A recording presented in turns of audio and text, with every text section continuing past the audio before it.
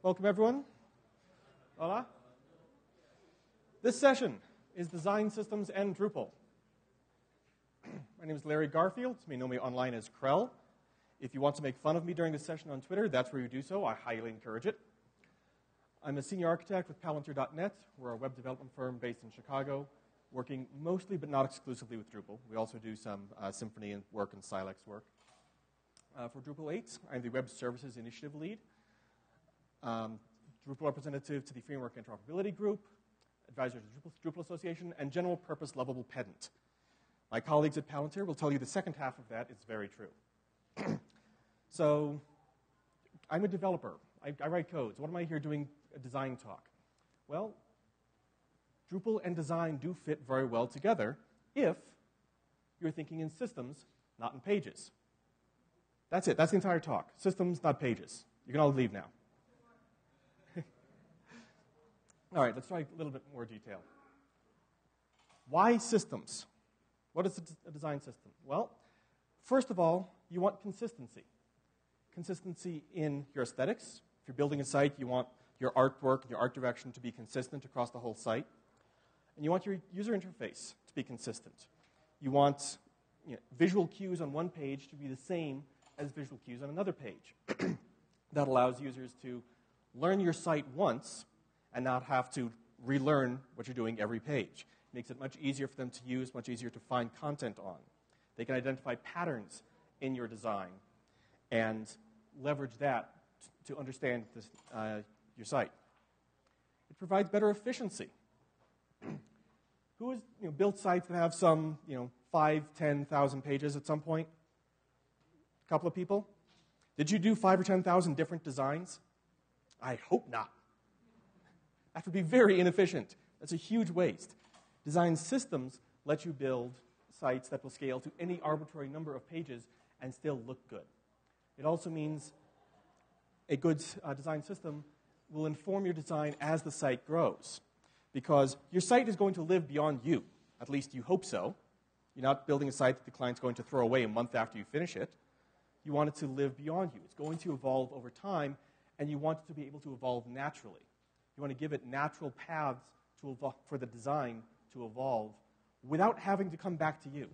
You don't want to have to come back and write more CSS every time you want to add a page to the site. That's wasteful. What is a system? We're talking about the system thing. A system is a set of interconnected parts forming a complex whole. Interconnected parts forming a complex whole. Individual pieces that we assemble into a larger vision. In design, generally this consists of elements, components, and templates. Those are those interconnected pieces that we're going to assemble. Elements are your basic HTML, your headers, your block quotes, your paragraphs, your forms. That's your lowest level atomic piece that you're going to design. From those, you'll build components. Components are your page header, your page footer. If you have a hero element, I'm not sure if that term is used in Latin America, but the you know, big image at the top of the page is often called a hero image. Uh, your navigation, these are larger chunks of design that you're going to build up out of your elements. But those are still independent chunks, independent components that you can reuse. And you'll use those to build up templates for your home page, for your landing page, for an event page, a listing page. that you know, full thing you see in a browser is built out of, it's not a painting, it's not a poster that you've put together. It is composed out of these smaller pieces common name for this idea is atomic design, where you've got an, an atomic sized piece here, think atom, you assemble into larger chunks, larger combinations, building molecules out of them, and larger and larger, and you assemble your site and your design that way. That complex whole, well, in most cases, is a CMS driven website. Who's built a CMS driven website? I, why do any of you not have your hands up? We are at a DrupalCon. Drupal is a complex whole built out of individual components. Drupal actually fits this model of design extremely well. So let's have a look at uh, an example of this. We're going to walk through an actual site. this is uh, PRI.org. PRI is one of the major public radio networks in the United States, uh, actually, across the United States and Europe, I believe. Uh, public Radio International. This is a site that Palantir built uh, about a year and a half ago, I so I believe. Um, and they wanted to have all of their content from all of their uh, various affiliate programs aggregated up onto one big site. Uh, mind you, this is a you know, public radio website, so we're going to have a lot of audio content, but also transcripts. And so generally, you'll have an article that has a text version and an audio version that go together. so, how do we build this site? How do we assemble this? Well, let's start at the beginning. If you're doing design, you're going to start with the basics your color palette, your font treatment, the mood you want the site to have. As I said, I'm not a designer, so I can't go into this in detail, other than you can figure this kind of stuff out with your client, with the design, with your product owner, independent of Drupal. These things should exist on their own. What fonts are you going to use? How are you going to style your text? Note here we're saying H1s will always look like this. An H3 will always look like this. An unordered list will always have its bullet points aligned this way. Why that way instead of further indented or further outdented? Because that's what we decided to do for all of this site. That's not done per page, that is done for the entire site. And you can th- build that in CSS very quickly, very easily. And you can start to see you know, the patterns emerging you're going to have across the whole site. Number two, get to know your content. We're building a content management system, we're building a content driven site. Why are people coming to your site? They're coming for content. What is your content? I don't know, depends on your site. That's a question you need to figure out before you start designing. If your first step in design is to jump into Photoshop before you figure out your content, you are doing it wrong. Know your content first. In this case, for PRI, they had really only one major content type, a couple of secondary ones, but one primary content type called a story. And a story has the story's title, the date it was published, uh, a section that it's from, an author, the program, because they've got different radio programs that uh, a story could be coming from, body text, images, various other bits and pieces. This is conceptually the breakdown of their content. Most sites will have a couple of these. You are not going to just have one, but this is a good example for us to work with. so now you know what your content structure is going to be in the abstract. Now let's put that into a design. Let's start combining those colored palettes and other elements and create components to represent that content. We're building from the bottom up here. So let's start with the header. We're going to show you know, a story on a page. It's somewhere on the site. We don't know where, we don't know the whole site, but somewhere there will be a, a page that shows an individual story. And it's going to have a header. And we want that header to have the date. We've got our date here. The author. We've got our author here. The title. The program. In this case, it's the world, their uh, particular program. And the section arts, culture, and media. So we know all of these pieces that are going to appear on the page are coming out of our content. We've accounted for them. We know where, where they're coming from. We know that users will be able to enter them. We know, okay, this is an advertising driven site, so we're going to need an ad block of some kind.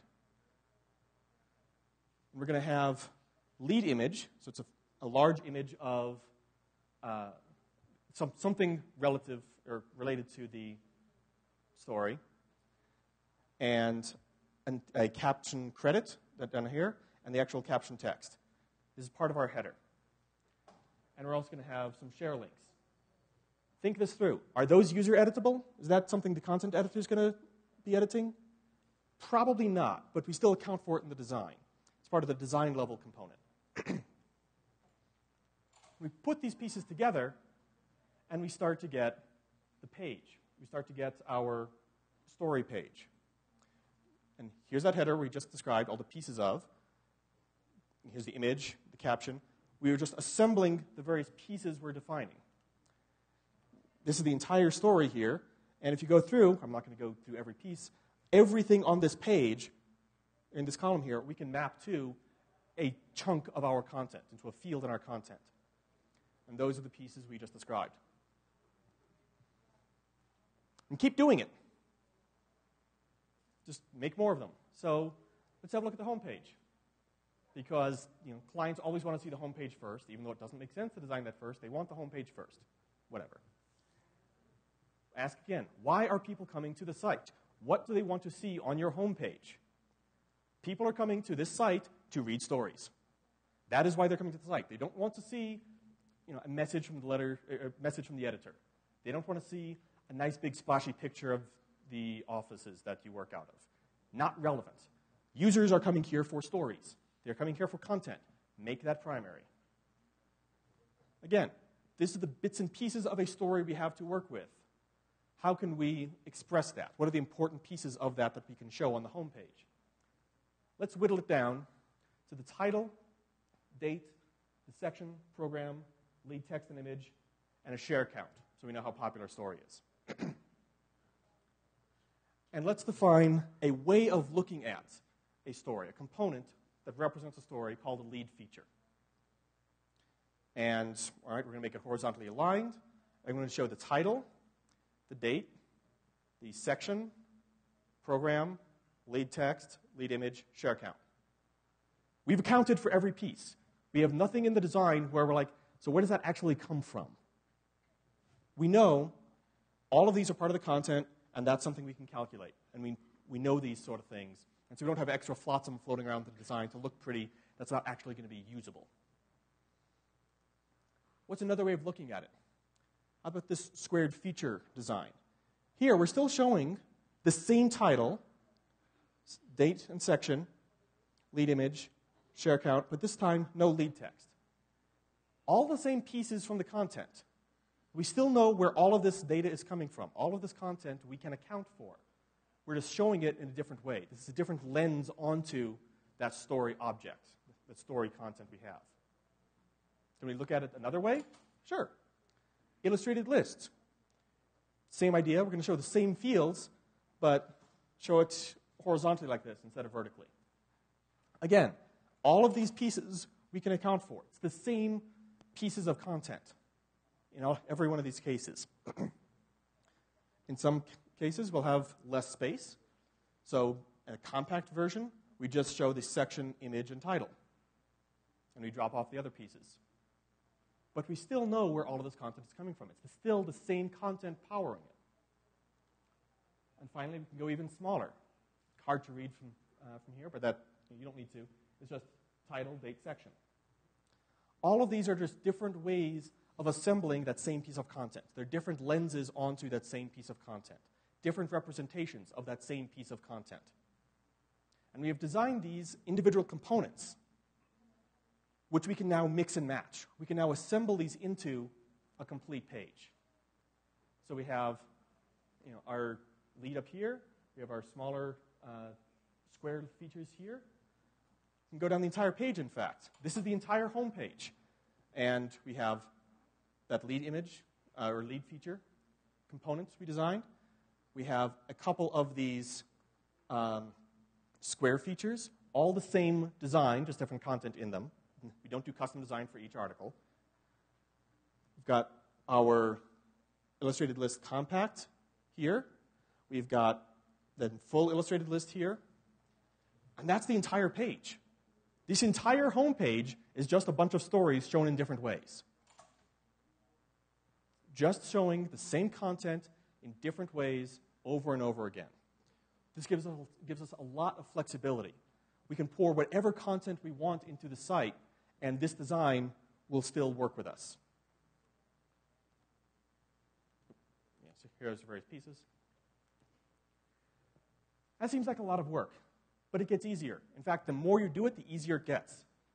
Let's look at a listing page, say the landing page for a given section. So the uh, politics and society section of the site. And all right, we've got some custom header stuff here for that section, but that's going to be the same for every section. But notice, this looks familiar. And this looks familiar. This is the exact same component as on the home page. This main body area here, that is an illustrated list. The design for that section is exactly the same as the illustrated list on the homepage. That means it's less work for you to design, it's less work to implement, it's less work for content editors to think about, and it's easier for users using the site. Oh, this looks the same. It probably is the same. In fact, it is. And then there's our uh, especially compact list over on the side. And we even have down here our um, compact illustrated list as well. So the same components, just rearranged differently, give us a completely different template. But we still only have to do the work of styling each of these once. And I'm sure some, some of you are wondering, what are we talking about Drupal for? Why are we talking about this for? What does this have to do with Drupal? Well, what is Drupal? A content management system. Building systems is what Drupal is really, really good at. That's why we use it. If we didn't want that, we would just hand, hand roll a bunch of HTML pages like it was in the 1990s. Who actually wants to go back to the 1990s web? Didn't think so. When you, for the type and color treatment, Drupal doesn't actually care. You have pretty much complete freedom here. As for your content, Drupal knows content. In the uh, fancy lingo these days, this is content strategy. Understand your content and what you're trying to do with it. Understand what your users want out of it. This is actually really, really close to what we were just talking about. The story as we model it in Drupal, looks an awful lot like what we had in the design. In fact, these should be designed together so that they complement each other. So we have that uh, parallel between what we're going to model in Drupal and what we're showing on the site. Those need to go together. If you have a bunch of stuff on the, on the page that has no, no corresponding uh, structure in Drupal, how are you going to fill in that content? You're not. So don't set yourself up for that. How do you map this out in Drupal? Good planning. At Palantir, uh, we've developed something we call the build spec. It's basically a very structured Google spreadsheet that we use to pre plan all of the buttons we're going to push in Drupal. Drupal makes it really easy to build out a content model by pushing buttons. These links, or the slides will be online later, so you don't need to write down the link right now. but you want to plan out what you're going to be doing. You want to plan out what you are, you know, what structure you want to build in Drupal before you actually push buttons. It's much easier to change before you start pushing buttons.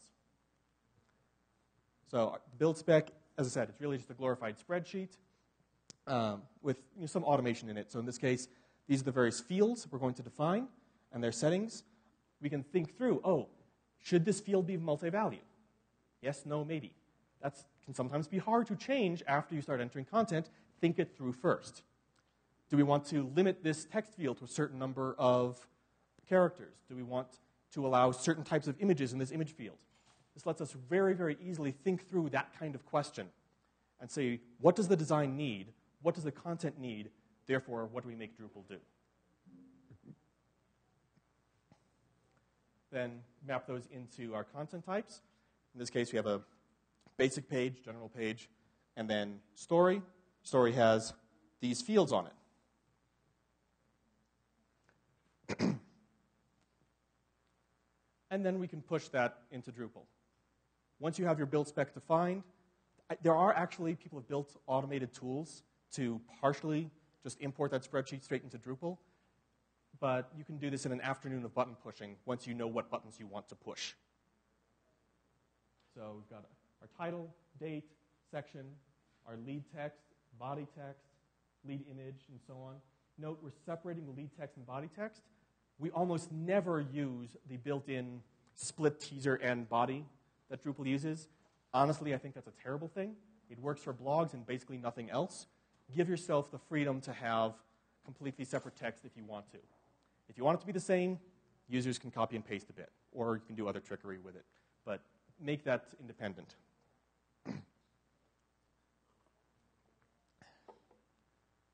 and then you get your nice, ugly Drupal 7 edit form, but with all of those same fields on it. So there's our image, body, and so on and so on. So now we've got our content structure defined in Drupal, and we can start entering content. And we can enter content, since we know this is not going to change now, at least we hope not, we can start entering content while we're still building out the rest of the site, as long as you have your content model figured out early. That's the important part. All right, now that we've got our content, let's start building those components and those templates in Drupal. Can Drupal do that? Well, yes. A component, as we just described it, is a visual representation of your content. Visual representations of content in Drupal are these things called view modes. So, a view mode is a component. Huzzah! They're not called that, but pretty much, you, know, you can configure a given view mode in Drupal and say, all right, I want this field to show this way. I want its header or not. I want it to show, if it's an image, this particular size. I want it to have a link or not. You are defining a component here. You're defining a window onto a piece of content. Each of these, you, know, you can think of each of these uh, fields as an element. Sometimes a bit more complex than that if it has a lot of markup, but conceptually, element, component. Some fields we can even hide entirely, like uh, the full page version. We're not going to show the lead text at all, period. And then that shows up on your page. This is news from tomorrow. Took people a moment. And all those components, or all of those elements are here, and this component is the full page version of your article. And add some CSS and HTML. I'm not a front end developer, so I'm not going to show code for that. But you can have a template that targets a specific view mode. In this case, node in uh, full mode. You can also target a specific view mode and a specific node type just by proper naming. Add CSS to taste, and you get the design you want. Here's your component. We've used Drupal to say these are the fields to expose to the template. Then we've used our template and our CSS to design it out the way we want to make it look visually the way we want. And keep doing it. Who's worked with image styles in Drupal? Most of you. Image styles are pretty much exactly the same as view modes, just for images. Same concept. Given this image, what lens do I want to use on it? I want a lens that says scale it to 145 by 82 pixels. I want a lens that will reduce it to grayscale. I want a lens that, whatever. And you just create these image styles, view modes for images, that you can then use. you can then define your own view modes. Drupal 7 core does not let you do that. Drupal 8 core does. In Drupal 7, there's a module called uh, Entity View Mode uh, from Dave Reid, because what isn't from Dave Reid, that lets you define custom view modes in the UI. They're all exportable. So we'll create an illustrated list view mode that applies to stories. And we'll configure that view mode, here's illustrated list, to show the section, date, lead image. In this case, the image is going to link to the, the actual content itself. We're going to use that illustrated list image style we just defined. And we're going to hide the image caption, the credit, the body, and so on and so on. Tip if you're showing an image uh, as part of content on its own page, don't make it a link because it's going to go to this page you're already on, and that's useless. If it's on any other page, make it a link because I guarantee you users click on pictures. So make the picture go where they probably mean to go, which is to the content.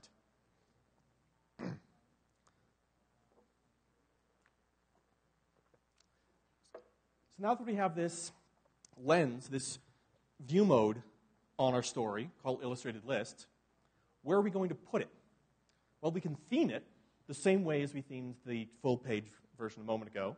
We just have a template and CSS that goes with it, and that applies to that one chunk of content. How do we get that onto the page? Everyone's best friend, Views. Views is a design tool. Never thought you'd hear someone say that, did you? Views is a design tool. It is for content assembly. It is for taking content and building it up with business rules. What are those business rules? Depends on your site. Up to you. Maybe it's chronological, maybe it's things that are flagged, whatever. So, not everyone realizes it, but in views, by default, views pulls out individual fields from a piece of content. But you can change it to show the entire content in a certain view mode. So let's tell it we're going to make a view of illustrated list representations of content. And now we can't specify individual fields because we're going to show the entire piece of content rendered in that way.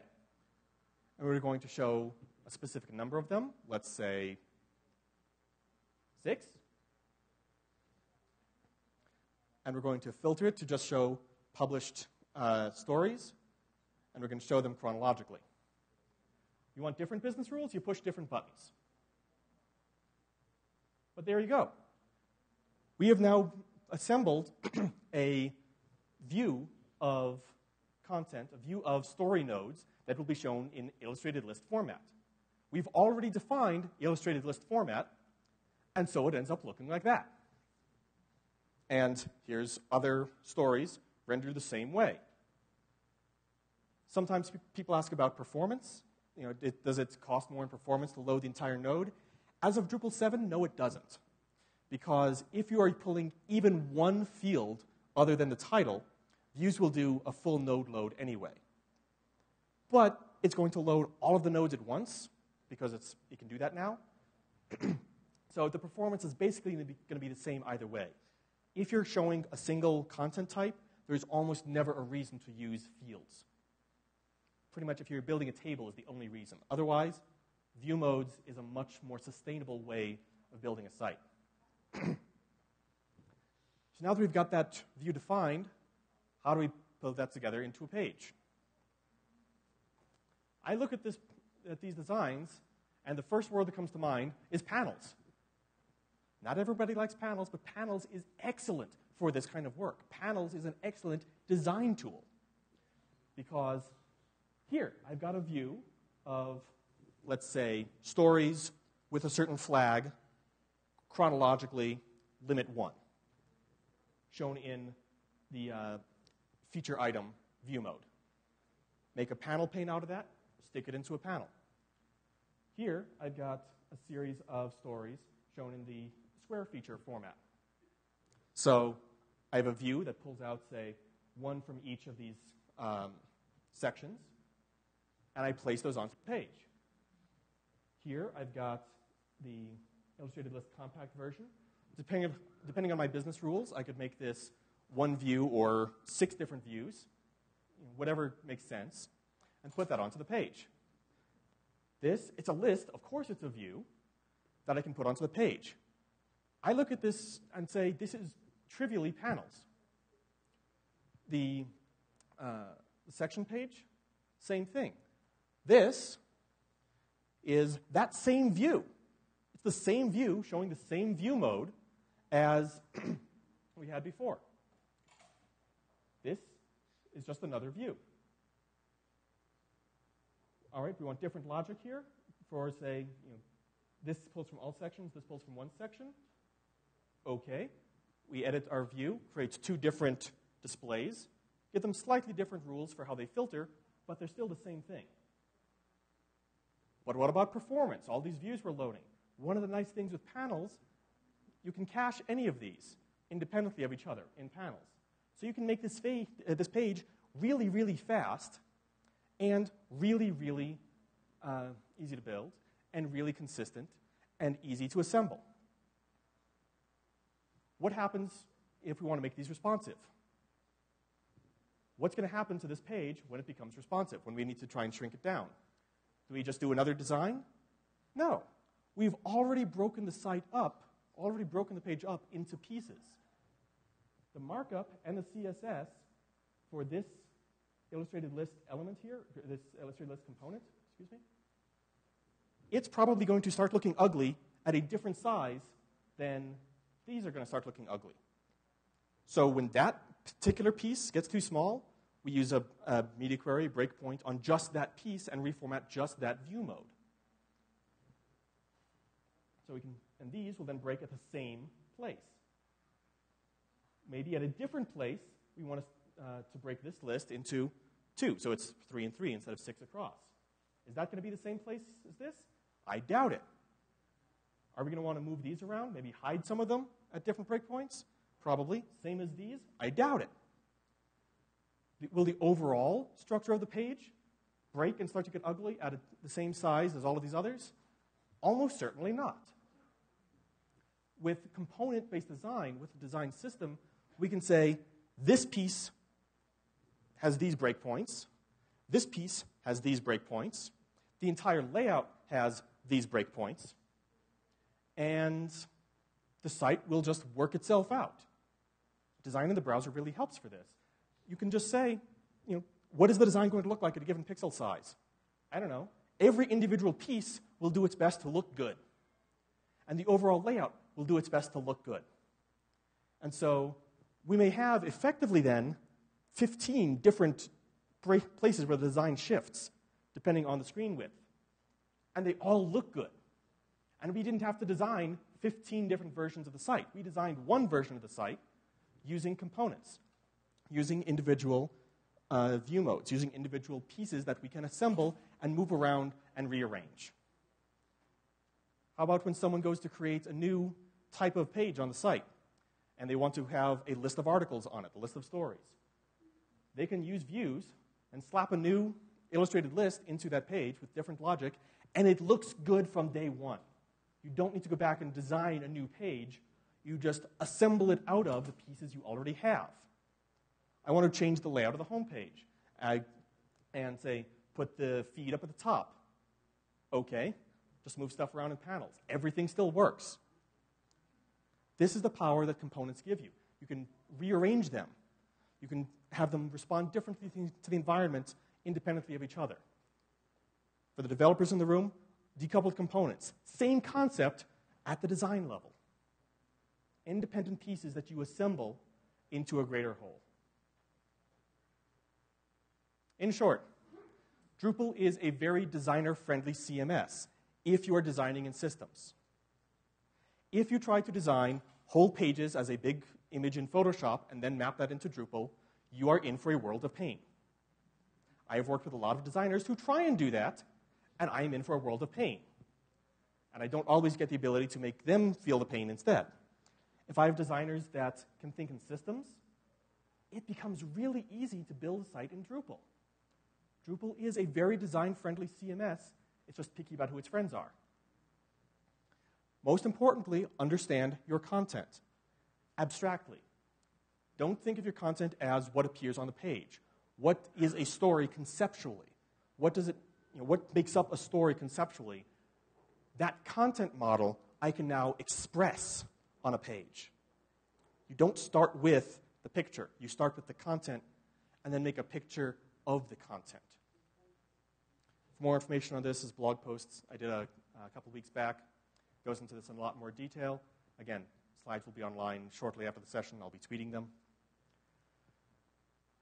If you find that it's hard to build a design using Drupal, it's not actually Drupal's fault. It means you're not doing design systems. If you're not doing design systems, you should be. Welcome to 2015. Some executive wanted this thing to appear on the page and didn't explain why. You don't know why? Well, that's because it's a bad design. If the design element doesn't fit, it doesn't map to your content, you probably don't need it. And the executive, you need to be able to tell them it doesn't actually fit the system. Because it's pretty is not a design system. We're not making posters, we're not making paintings, we're making content driven websites. A system is a system, it is a series of components working together to form a complex whole. You want to use that same system for the entire project. The designers, the uh, site builders, the coders, should all be using that same mental model, that same design system, that same ubiquitous language across the entire site. These, this is something that should be done collaboratively. Do not have the designers design something and drop it on the desk of the developers and say, here, go build this. That never works. Does that ever actually work for anyone? Did that work well? Didn't think so. If the designers and the developers are working together, though, they can create a design system that mirrors the content structure in Drupal. And then you can do most of your work by pushing buttons and slapping some CSS on it. And that becomes most of your job, is push buttons and slap some CSS on it. And you can go home at 5 o'clock and hang out with your friends or with your family, rather than staying there all night trying to make this design pixel perfect because the designer thinks that somehow matters. And isn't that what we all want, to actually go home at 5 o'clock and hang out with our family and friends? I agree. Thank you.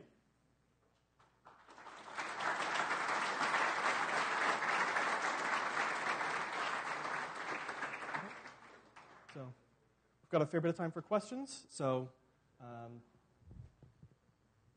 if you have questions, raise your hand. We'll run a microphone around. The back there.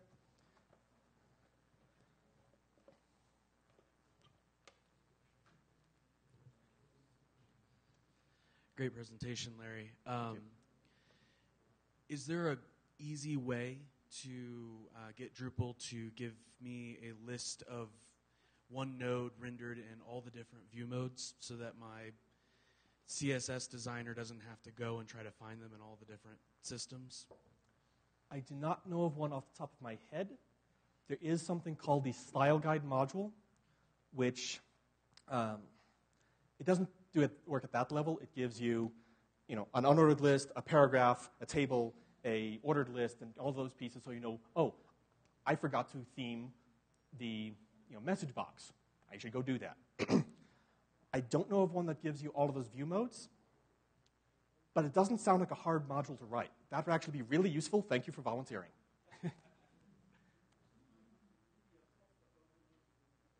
What's that?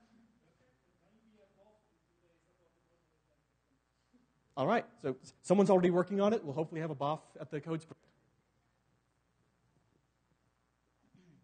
In our company, we start the project with requirements. After that, a wireframe. After that, prototyping.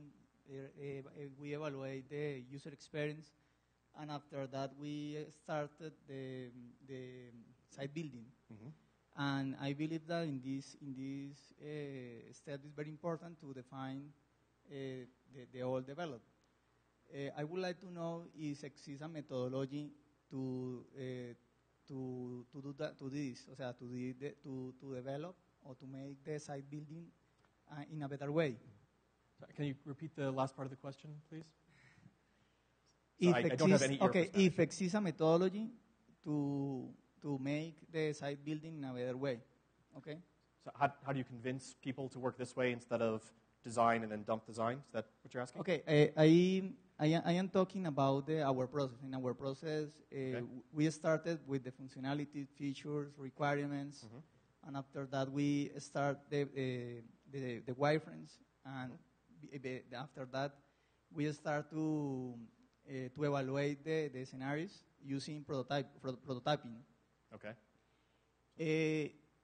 After after this well, after uh, after that those those uh, taxes uh, we we started uh, to to define how can we uh, model that in Drupal mm-hmm. and use a site building method- methodology that we developed.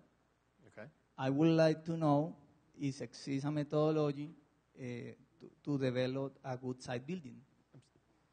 Sorry, that last sentence I'm having a hard time understanding. I apologize. All right. Uh, is there a, an established methodology to do this kind of philosophy applied for site building? Okay. Um, what we do is the build spec, and that is something that ideally is a collaboration between the development team and the design team. So whoever the designer is is thinking about content and thinking about fields as they're putting together the design. They're thinking about you know, this is the this view mode of this content type. They are thinking about that as they're designing. and then we can model that in the build spec and then give feedback right there and think, all right, mapping things out in the spreadsheet, we've come up with this question, this question, this question, and this makes no sense at all.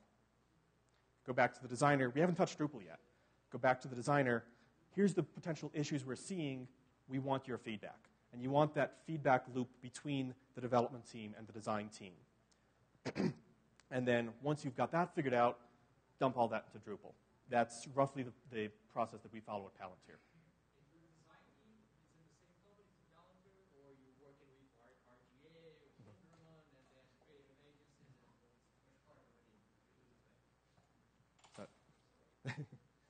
so the, the, question for the recording is, is that, are we working with in-house design team or outside design teams? We do a little of each.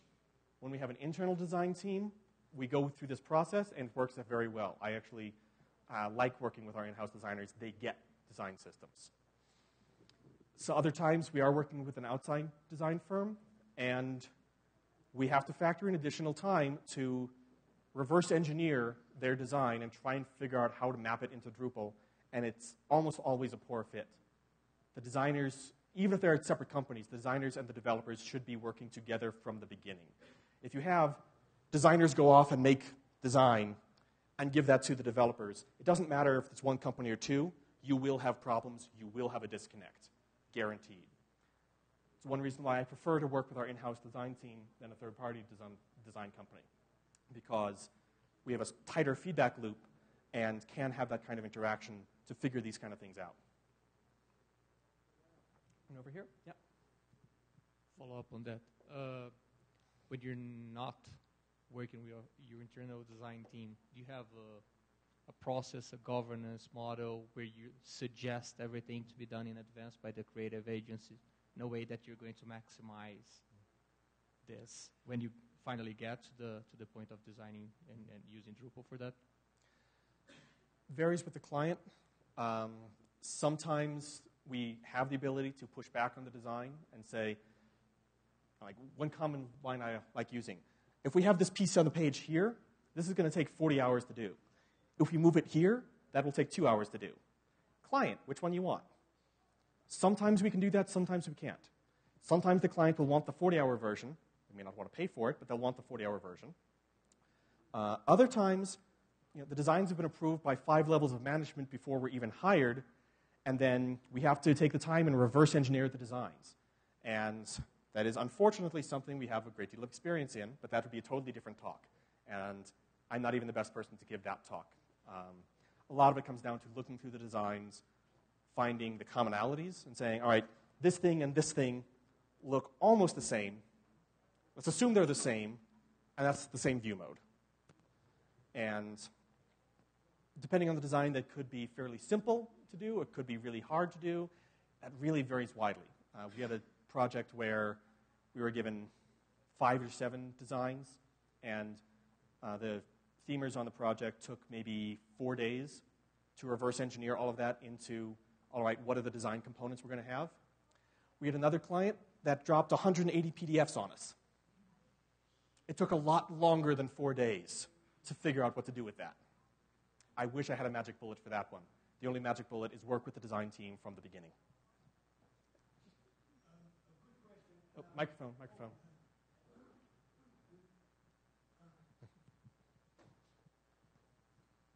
Uh, have you found the use of living style guides a part of this method, a part of this workflow? Living style guides. We are using those more and more. Like, like the tiles thing? And yeah, style okay. tiles and stuff like that. That's not a formal part of our process, but we have used those at various times. Again, it depends on whether we're doing our own design or uh, building someone else's. Um, we're actually experimenting recently with using a static site generator as a prototyping tool. And now that Drupal 8 will be using Twig, there are tools like Sculpin that is a static site generator for PHP that also uses Twig. So we're actually working right now to try and come up with a set of uh, Twig templates for Sculpin so we can do a lot of that prototyping in the actual code that will turn into the Drupal site.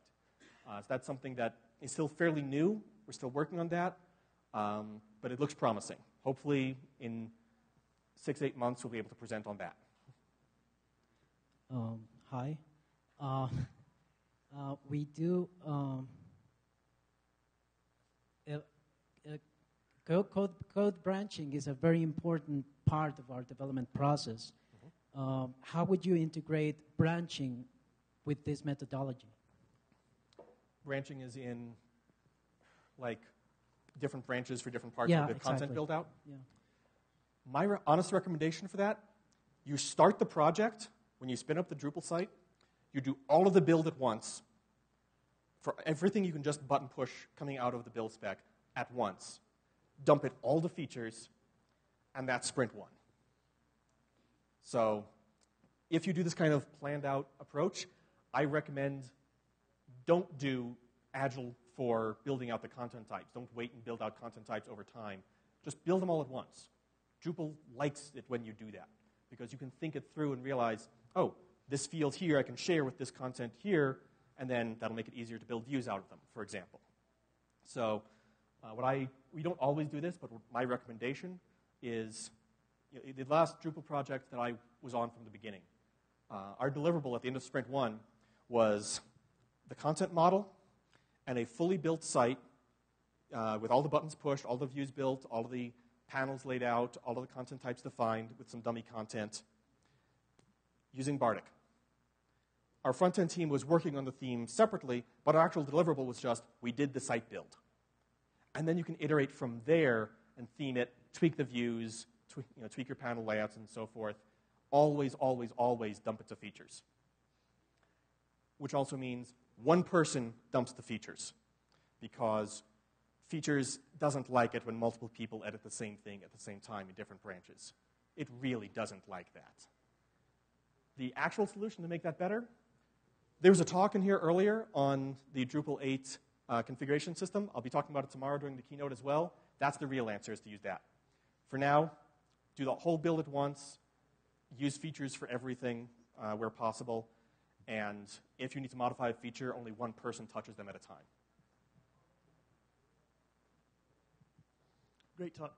Um, not to de- derail it too far, but no mention of UX in this design process. So if you could address that, or what do you guys do, or anything. I skipped over why you would want to lay out an illustrated list in a certain way. That's where the UX comes in. What, you know, what different styles do you want to have? Should we put one big story on the front page or 50 small stories? That's part of the UX. That's a hardcore design uh, topic, so I'm not going to get into that too much. I don't actually work in that field anymore. I used to, but I haven't in a long time. Um, so I, am skipping over a lot here about the designers doing the kind of UX thinking and, you know, all right, we've got these story objects. How do users want to use them? Do they want to see short versions? They want to see long versions? Are we going to need to have two different versions of the title, a short title and a long title? Maybe. In some cases, you will, and then, you know, in your list versions, you'll use a short title. On the page itself, you'll use, use the long title. Completely legitimate thing to do if that fits for your, your usability. Mostly here, I'm looking at the, com- the components that come out of that process and how you're going to assemble those, but absolutely thinking through why we want a given design component, what users are going to get out of it, is a prerequisite for the how that I'm talking about here. Any other questions? I speak Spanish. I will try to speak uh, good English. Okay. I, I think I have a translation here. Let's see if it'll work. Oh, okay. Basado en tu experiencia, eh, ¿cuánto, cuánto, ¿qué es lo recomendable que debería durar el, el, el proyecto de diseño de un sitio web? ¿Y cuánto a tu empresa le cuesta en promedio en dólares eh, al proyecto? Por proyecto, ¿cuánto le cuesta hacer un, pues, manejar toda la parte gráfica?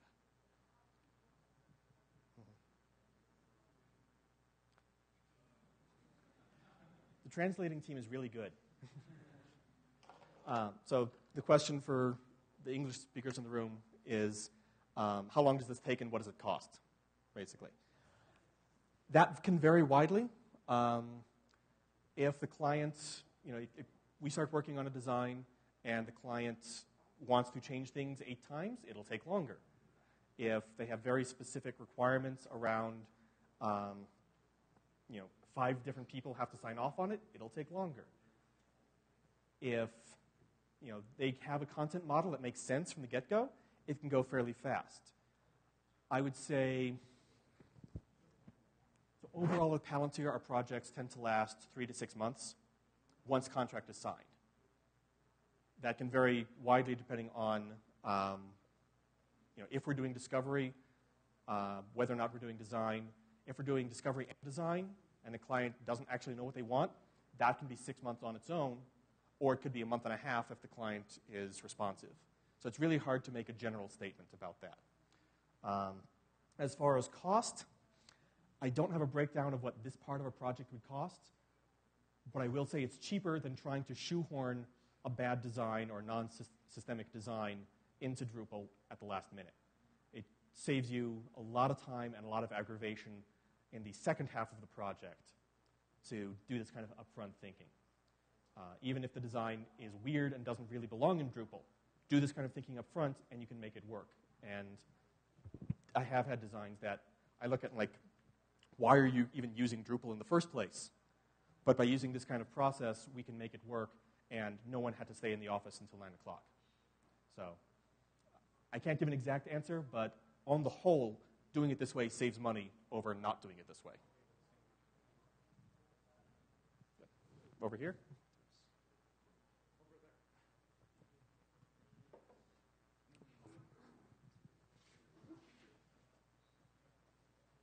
Couple over this side.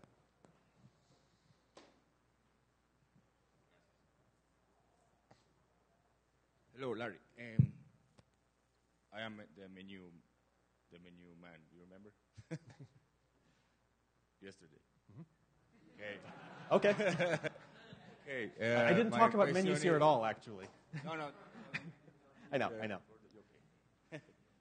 uh, question is: uh, Do you recommend more for all these things you, you said? Um, it's better to use a template 100%, or is there a kind of percent with templates, or design from zero from the paper and and the um, design um, tools, Illustrator and Photoshop, for example? So when you say templates, do you mean like having a stock form of a page, like having yes, a, a two for up? the, for the client, display? it's better for the time you recommend. You recommend that. You recommend that uh, hundred percent, or That really depends on the client. Most of the clients that we work with at Palantir want a very custom design. So we don't really have much in the way of pre-built templates that we will always go to unless you tell us otherwise. That's because we work mostly with large institutional nonprofits, universities, museums, hospitals. If you're dealing mostly with uh, small businesses, then having a set of stock templates you can pour design objects into can be a big time saver. And in fact, uh, Panels lets you define additional templates as uh, they call them layout plugins, which are really just a, a template and attached CSS. So if you have a collection of those pre-built, you can use those, uh, and then try and steer. If you if you control the design, you can steer towards that to save money. and what Uh, about the client? For uh, sometimes they they don't they, they wanted a original design.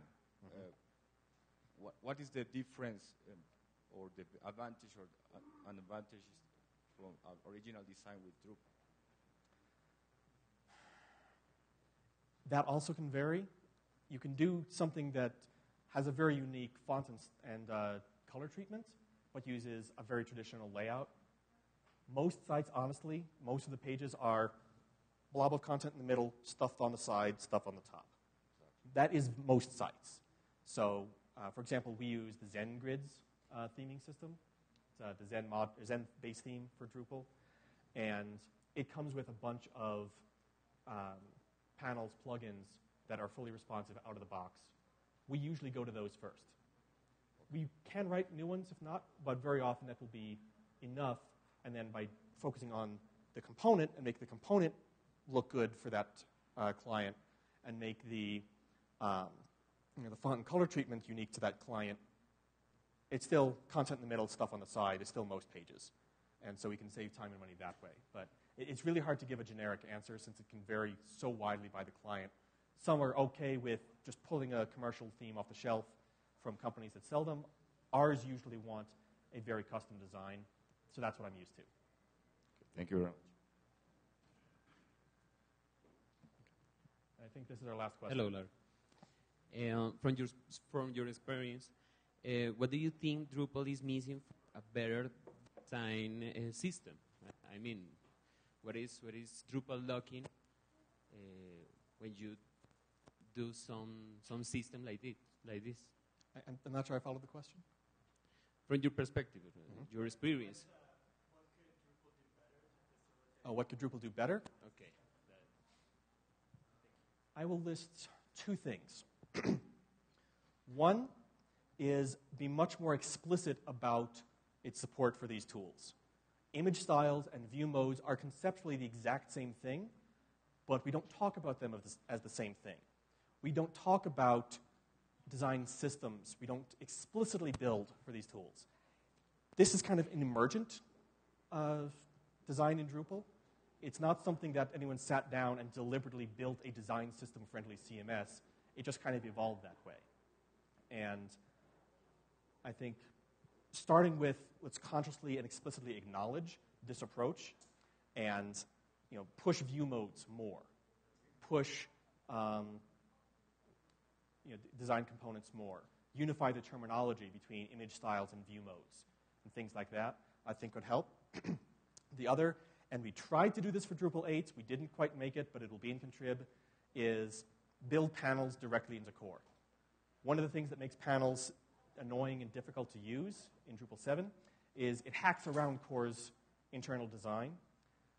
The internal design in Drupal 8 has changed dramatically, in a very large part to try and make it easier to do what panels does. We did not get as far with that as I would have liked. Um, there's still a lot of pieces of the way Drupal works internally that don't quite fit this model, but can be bent to that model.